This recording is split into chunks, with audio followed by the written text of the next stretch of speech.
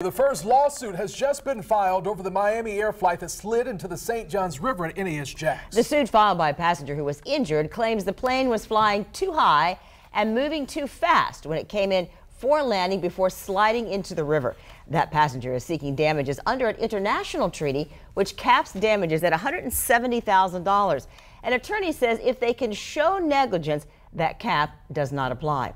That attorney representing a number of the passengers says he is negotiating with Miami Air, which says they want to settle the claim.